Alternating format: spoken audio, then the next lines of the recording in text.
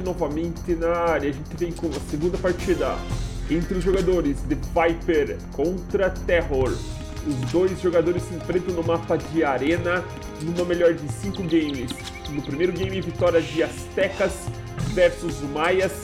No jogador de Viper, que fez uma estratégia excelente, muito bem executada na parte econômica, fazendo tudo que tem de melhor, galera, possível com Aztecas no primeiro game. No segundo game, joga de Viper com espanhóis contra Terror, galera, de chineses. Então agora tem uma outra dinâmica, muda totalmente, galera, o contexto do game. Com, uh, a gente vai conferir, galera, o mapa tem três relíquias laterais na base do, do jogador Terror, que auxilia ele, facilita ele para caça, galera, daquelas relíquias. E aqui a gente tem também uma relíquia na base do The Viper outra dinâmica, quatro relíquias, então galera, aqui uh, muito próximas uma da outra, mas mais fáceis para serem adquiridas pelo Terror, galera. Vamos analisar qual vai ser a jogada tática agora, pessoal, dessa, uh, desse mapa, desse uh, confronto entre os dois agora espanhóis contra chineses, galera. Então muda totalmente o contexto do primeiro game, que era Aztecas e Maias. Lembrando que todas as partidas Arena 100%, galera, ah, não é com regras.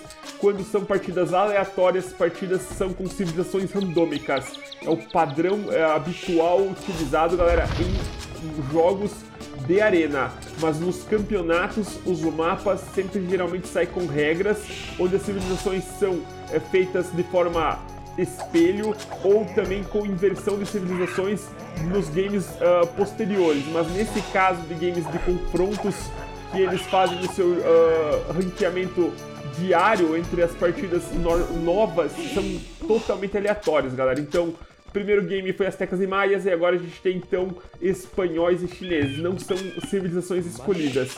A gente vai aqui analisando, então um view aqui foi, já deixou na mão aqui, galera, o The Viper, e ele começa então aqui agora a fazer toda a sua estratégia com espanhóis. A gente vai analisando e a gente vai aprendendo o que, que os top players fazem, galera, uh, com essas civilizações.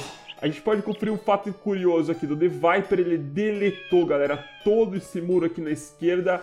Ele deve estar tá fazendo na sequência ali algum palisade, alguma coisa. Vamos conferir, uh, isso aqui ele fez inclusive para pegar aqueles Deers.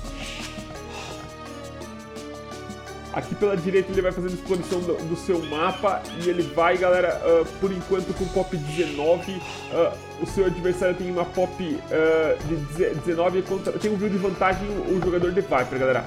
Lembrando que chineses é uma civilização complicada para se começar. Você não vai ter o mesmo feeling na questão de pop e até organizar a parte econômica. A gente tem que pelo que parece, ele vai clicar com o Pop 25 novamente na parte tática ou 26. Ele está fazendo já então, pessoal, aqui os seus uh, primeiros uh, fazendas. Ele vai fazer mais Pop. Vamos analisar qual vai ser todo o sistema tático, galera. Ele vai trazer então agora dois Deers ao mesmo tempo. Uh, vai trazendo ali o primeiro Deer. Geralmente são três, quatro views para caçar, galera, os Deers. Só que ali a gente pode cumprir que o Deer deu quase que uma trollada nele. Trazendo aqui, galera, então, mais um dia, um jogador de Viper. Beleza, agora ele vai fazer, então, ali, pessoal, a sua caça de gold. Vai clicar, galera, com pop 28, não tá pegando pedra, ele não vai conquistadores, galera. Provavelmente ele vai jogar uh, normal com monkeys ou lights. Talvez ele possa fazer lights também, não é descartado. Pop 28, ele vai fazer, galera, então aqui, Blacksmith e mercado nesse local, galera. O que ele vai fazer é isso aí. Vamos aqui analisando. Se eu fosse uh, um jogador de nível uh, aleatório, logicamente não muito alto, eu viria a galera Drush contra ele. Não contra o The Viper, mas contra outros jogadores. Já fiz essa estratégia. Deletaram o muro, galera, e acabei fazendo até Drush na base dele. Os dois com pop 28 e 27, respectivamente. vai, galera, agora então fazer aqui o seu Blacksmith e o mercado, o jogador The Viper, galera. Aqui tem, a gente tem, então, é, quatro blocos de três, são sete aqui, galera, para fazer certinho ali as construções. Clica, então, já para era Castle Age os dois players, galera. Agora que vem, então, a parte tática na partida, uh, ah, para a questão, galera, de conferência estratégica. Temos aqui um total de 6 views no Gold, é tudo muito bem distribuído sempre, galera. Dos top players eles fazem e vai conquistadores aqui de vaca, galera. Então ele já tá fazendo aqui, inclusive, várias fazendas, caçada de gold, com uh, realmente esse intuito de fazer, galera, um castelo talvez avançado ou defensivo. Eu creio que ele possa fazer um castelo até avançado. 5 views pegando pedra, o The Viper, galera. É sempre compensa com espanhóis fazer conquistadores, galera. É uma civilização perigosa na Castle Age para fazer. Ele tem aqui pelo menos, pessoal, umas 8 dessas fazendas, o The Viper. Tá cuidando ali uma eventual avanço do seu adversário. Pronto, ele vai comprar pedra, galera, para fechar o restante, então, de coleta, galera, ali para fazer seu castelo. Ele faz então, galera, dois ministérios do Cube Viper. E ele vai fazer também agora seu castelo na sequência. Bem ofensivo, galera, do Viper no começo do game. Ele vai com montes espanhóis, pessoal. Agora é hora dele ir ao castelo, pessoal. Vamos aqui analisar. Ele tá cuidando ali de um eventual... De um eventual inimigo aqui na praça, ele tá cuidando ali do scout, a gente pode ver, analisar toda a questão é, de visualização do scout para cuidar. E lá, galera, então está os views uh, e começa a erguer a galera que o castelo seu adversário. E os monks aqui começam das caras. Tem que fazer, galera, um castelo defensivo, o jogador de Viper. Vai ser Choconu, galera, contra conquistadores. os fios espanhóis constroem mais rápido. Uh, vai upando aqui, galera, os atributos dos seus Monk Sense. Ele vai upando também ali Atonement. Vamos conferir, galera. Um ataque contra a defesa aqui uh, do jogador de Viper. Tem, galera, um total de 4, 3 relíquias aqui de Viper, pessoal. Tem uma quarta relíquia dentro da base do The Viper. Ele acabou ficando sem por causa daquele castelo. Ele vai fazer então, galera, aqui uma fechada uh, estratégica. O The Viper, galera, tá compactando o Echo e vai pra Imperial, pessoal. Ele vai fazer um clique pra Imperial mais rápido. Ele tá fazendo então, galera, estratégia defensiva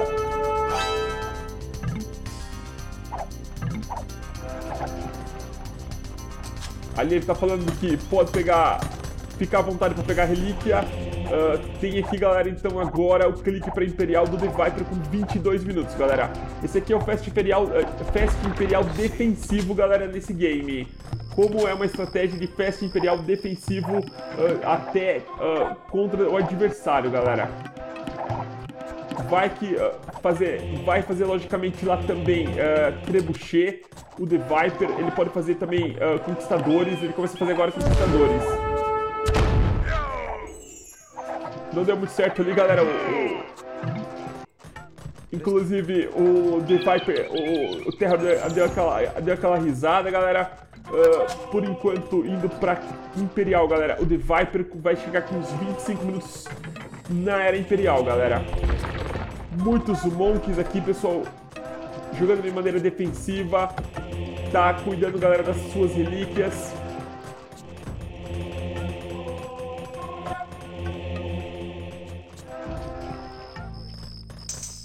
Tá cuidando ali, pessoal, a parte visual. Chega no Imperial, galera do Viper. Ele começa, então, agora a upar também uh, outras outros atributos, galera, dos seus monkeys para fortalecer ainda mais, galera. E olhem só que vem lá o seu adversário, galera, encrencar a vida do The Viper. Vem forte, uh, vem ali, pessoal, com bastante dificuldade, manda views ali, pessoal, pra cima das trebuchês.